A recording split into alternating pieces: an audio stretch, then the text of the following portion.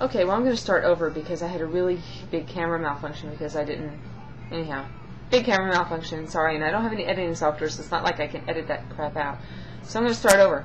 Um, so I'm going to answer a few of the uh, Ask Me Anything questions that people ask me about. Um, so I'm going to do the easy ones first. Um, Gian Andrea asked me, "What's your favorite shoes designer?" I think about you know the shoes that I actually wear and you know buy and can afford. Um, I wear a lot of uh, Calvin Klein, uh, BCBG. Um, I like Carlos Santana shoes. Carlos Santana shoes are cute. Um, and Jessica Simpson has some good shoes. She does a lot of knockoffs of high-end stuff though, so um, you know if there's some high-end shoe you can pretty much that's popular, you can pretty much figure she's going to copy it. Um, but I like high heels. I like I hate flats. Um, of course, I got a pair of flats sitting right down here. But these are Calvin Klein flats. They're kind of comfy. But um, they have the stretchy back, and that makes a big difference for me because flats that have the rigid back, they really dig into my heels and they uh, they uh, give me blisters and hurt my feet a lot. So with a high heel shoe, you know, your foot sits kind of forward so that it doesn't rub against the back of the shoe. So that makes a big difference to me. Um, I just like high heels anyway. But if I think about shoes that I, you know, aspire to own, because uh, you know we all can have shoe dreams. Um, you know, I really think that, um, you know, of course Manolo Blahnik makes beautiful shoes. Jimmy Choo makes beautiful shoes, but I prefer Christian Louboutins to pretty much anything. And my friend Gretchen and I are planning um, what I've come to call uh, Lalashapalooza, where we're going to um, take a little, have a little weekend in the city, and we're both going to buy a pair of Christians. So I already have mine picked out. I'm pretty sure what I want. Um, but they're just beautifully sculpted shoes and um, just just plain gorgeous. So that's my favorite. Uh, Donna says, "What's your favorite thing to read offline?" I love reading. I read a lot. Um, I have a giant stack, stack of books right here. So a little bit of everything right there. There's my two TED book club books that just came. Really interested in uh, this one right here. Um, True Enough, Learning to Live in a Post-Fact Society. And then, of course, David Sedaris right there. Although I prefer to listen to David Sedaris, but I read him too. Um, over here I've got a big stack of poetry anthologies, you know, and uh, a really funny book of essays. David Foster Wallace's a supposedly fun thing I'll never do again. I like essays because you can just pick them up and kind of kind of start anywhere. Um, getting away from already pretty much being away from it all, which is a really funny essay. I like him a lot. Um, but I like I like science reading. I really like. Uh, there's an author John McPhee that Joe introduced me to, who writes a lot of a lot writes a lot about geology, but about a lot of other stuff too. Um, I like reading about the brain and about people and how they interact, and uh, I like reading. I kind of like biographies. It depends on the person. I like not self-help books, but things that are self-development focused. Um, and I've got music choice on right now, and Rick Astley, "Never Gonna Give Me Up" is "Never Gonna Give You Up" is on, and oh, So like my TV is rick-rolling me right now. Um, I really like um, and fiction that's kind of science-based. So you know anything that's like forensic-based. I don't watch all those TV shows like CSI and everything, but I love me some Patricia Cornwell. So, you know, I like that kind of stuff. I'm looking back at my bookshelves back here. That's mostly Joe's stuff back there. But anyhow, um, and I also like to read magazines. Um, I love my, my computer sitting on a giant stack of magazines right now.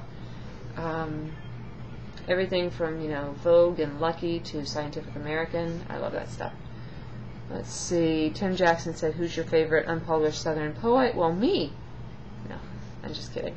Oh, you're right up there with him. Um, but, you know, you know, you and me are like the only unpublished Southern poets that I really know. Um,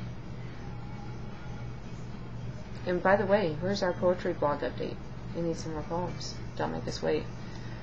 So let's see. Um, Matt asked boxers or briefs. He says, no, I don't have a question really, but boxers. Boxers, I will say. Um, let's see what else we got here. Steve OFC says, Why do you have a sudden obsession with vlogging? That's a good question. I don't know. I can't believe I'm doing this. Um, it's kind of crazy. And I don't even like the sound of my own voice, so why am I doing this? But I really enjoy vlogging. Um, it's really a self development, personal growth kind of thing, you know, exploring what I feel like making public, what I don't feel like making public, and kind of pushing myself. Um, if you're familiar with the Johari window, there's four quadrants, and one is the um, the open, which is what I know about me and what you know about me, and one of them is the hidden, and that's what I know about me, but I keep hidden. Um, so part of you know the the goal of self development, if you look at Johari window, is to get that open quadrant bigger and bigger and bigger, so that there's less that um, there's less I'm hiding, there's less that I'm hiding from myself, because uh, there's a the um, blind quadrant, which is things that you can see and observe in me that I don't see or that I deny. So it's kind of like getting feedback about those things and then un- and self-disclosing about the things that I keep hidden. So blogging is a big part of that. And then, you know, I just thought I would experiment um, with with video blogging and you know, experimenting with new behaviors. I think is an important step in growing and figuring out what you can do and can't do. So. So I'm kind of doing that, and it really is addictive. Addictive. I know why people do this. Uh, Steve FC says, "Do you ever film yourself doing other things?" And, huh, funny question. Um, it's too serious. Let's see. Let's see. I'm going to save the more serious ones for later.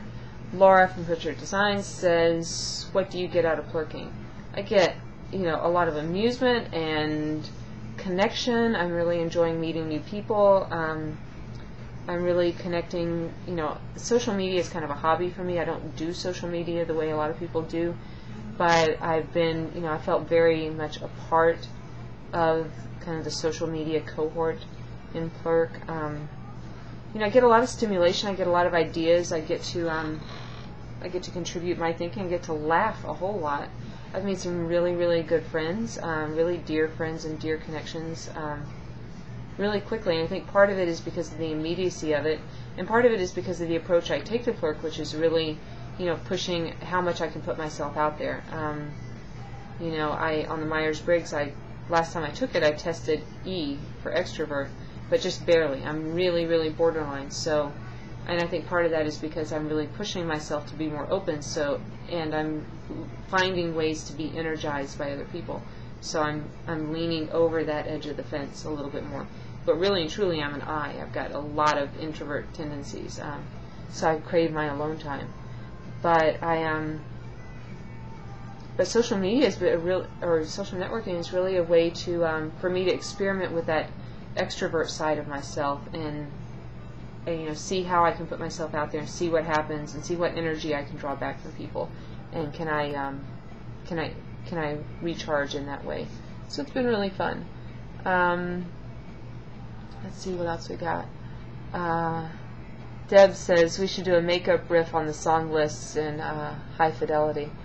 So I'm not quite sure how to do that, but we need to talk about that idea because I certainly like to talk about makeup. So um, so anyhow, I just thought I'd do a couple of quick questions. Um, my friend Chris just left, and we had a lovely brunch and talked and caught up, and he had a really fun date.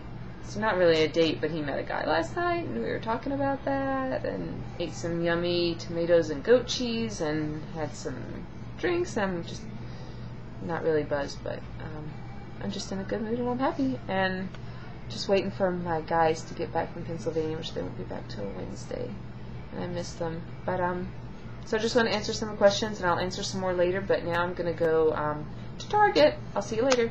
Bye bye.